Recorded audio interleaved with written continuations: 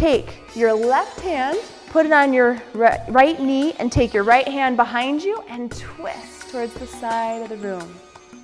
Twisting is great for digestion. Helps to stimulate your digestive process and helps to get everything moving. You might start to feel a little warm through the belly when you're twisting. Do you notice it's a little harder to breathe when you're all twisted up like this?